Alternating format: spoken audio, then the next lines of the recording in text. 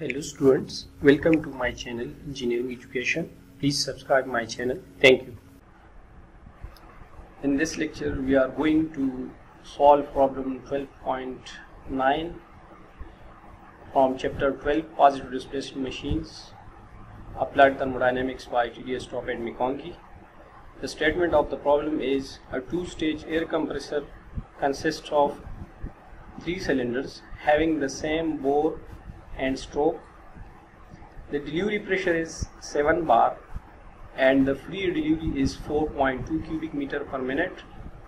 Air is drawn in at 1.013 bar 15 degree C and intercooler cools the air to 38 degree centigrade. The index of compression is 1.3 for all three cylinders. Neglecting clearance calculate the intermediate pressure second the power required and the isothermal efficiency. So first of all we will write the given data. We have given that this is two stage air compressor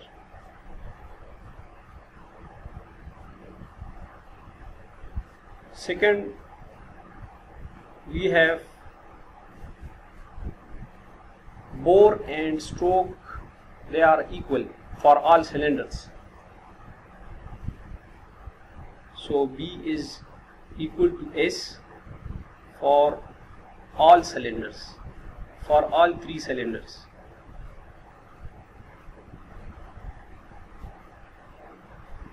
Third we have delivery pressure which is P2 and that is 7 bar. Free air delivery is 4.2 cubic meter per minute. Pressure P1 is 1.013 bar that is the intake pressure and the intake temperature T1 is 15 degree centigrade which is 288 Kelvin. Also the intercooler cools the air to temperature Ti that is the intermediate temperature are also represented by T2 and it is equal to 38 degrees C which is further equal to 311 Kelvin.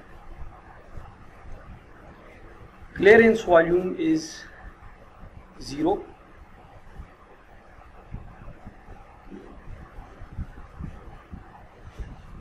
Vc is equal to 0 while the index of compression is 1.3 it is n is equal to 1.3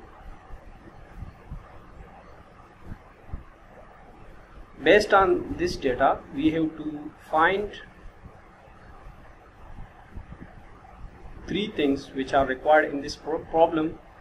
First we have to find the intermediate pressure Ti second we have to find the power required to the uh, to the to drive the compressor. That is actually the indicated power represented by IP. Similarly, third, we have to find the isothermal efficiency. First, we are going to find the intermediate pressure suppose we have as as it is given in the problem that this is two stage compressor with three cylinders which are equal in dimension that V is equal to C for V is equal to S for all cylinders. So let consider them that two cylinders are in parallel and one cylinder is in series with these two cylinders. So in that case the intermediate pressure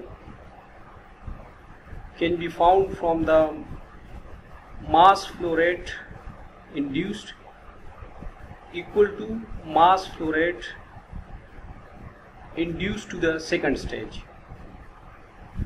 This is for first stage I1 this is the mass flow rate induced to the second stage. So for this case from ideal gas equation we have the expression that is P1 V1 were RT1 also for this side we have Pi which is the intermediate pressure V2 over R T2 RTI so rearranging this equation we get that intermediate pressure is equal to R will cancel from here Pi will become P1 over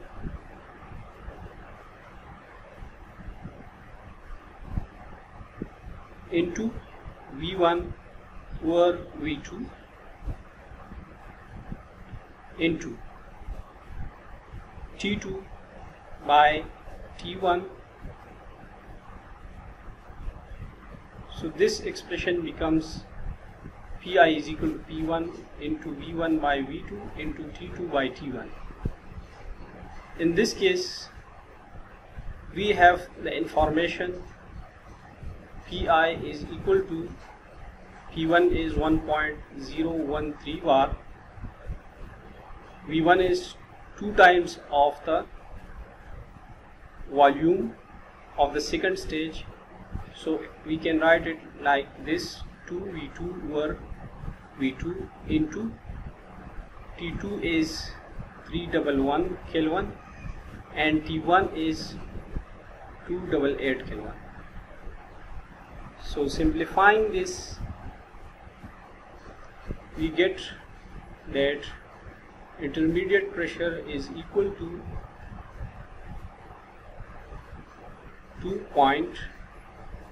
2.19 bar.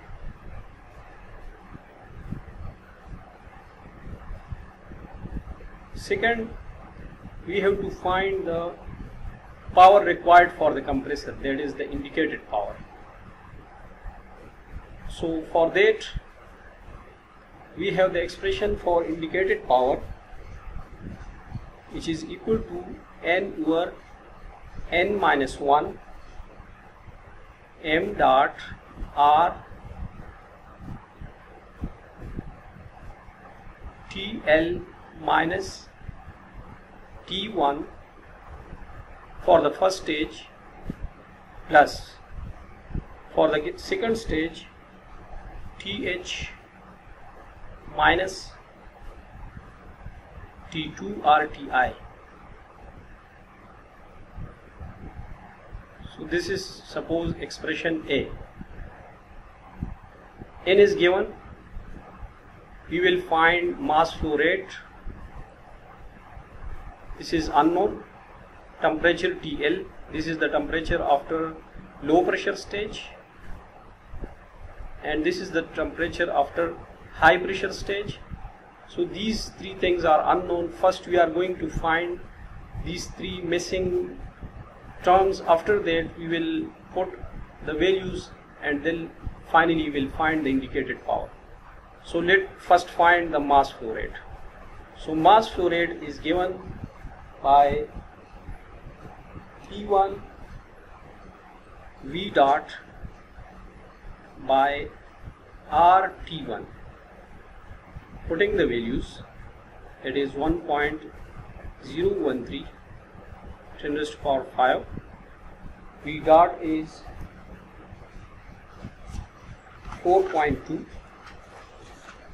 cubic meter per minute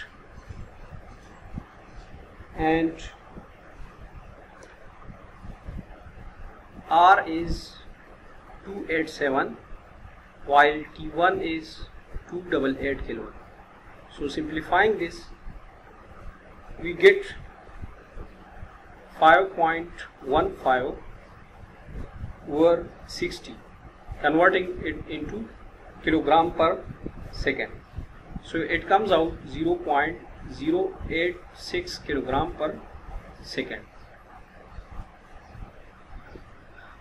Also to find temperature TL for that we have the expression that is temperature at the end of low pressure stage that is equal to T1 into Pi by P1 intermediate pressure over intake pressure over n minus 1 by n. So putting the values T1 is 288 Pi is 2.19 bar is calculated P1 is 1.013 bar so simplifying this we get the value 1.3 minus 1 over 1.3 so simplifying this we get the value that is 344 Kelvin also third we have to find the value of TH that is the temperature after high pressure stage so TH can be found from the expression that is TH is equal to Ti into P2I Pi power n minus 1 by n. Ti is 311 Kelvin, P2 is 7 bar, while Pi is 2.19 bar. 1.3 minus 1 over 1.3. Simplifying this, we get 406.7 Kelvin. So all three missing values were found. Now putting these values in expression A, expression A will become equal to indicated power is equal to 1.3 over 1.3 minus 1 m dot is 0.086 r is the value of r is 287 kilo 287 joule per kilogram per kelvin for the air. Also TL is 344 minus T1 is 288 plus TH is 406.7 while TI is the intermediate temperature which is 311 so simplifying this we get the value of indicated power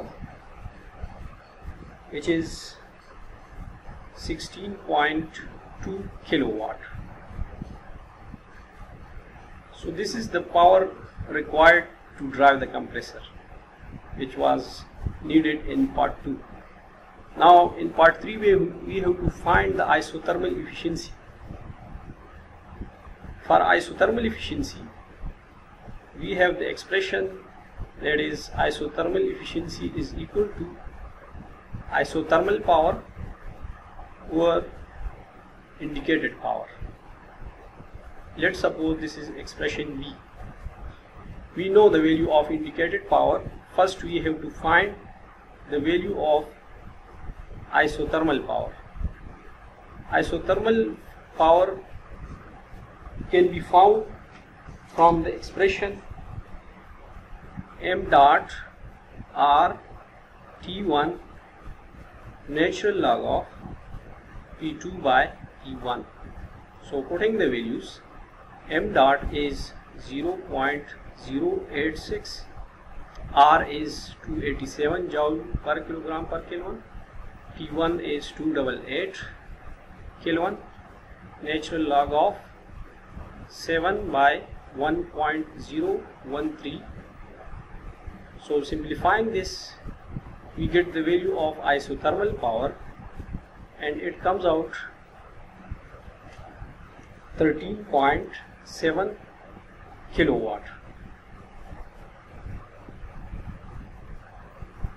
Now putting the values of isothermal power and indicated power in expression B expression B will become isothermal efficiency is equal to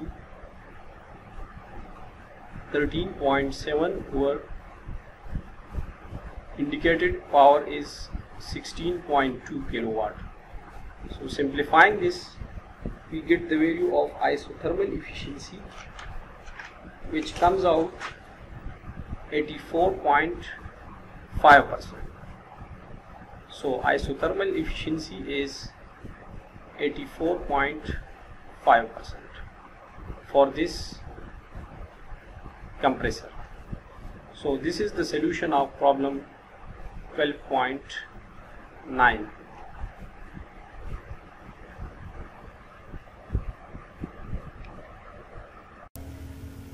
thanks for watching. Please like and comment on my videos also subscribe my channel to get new videos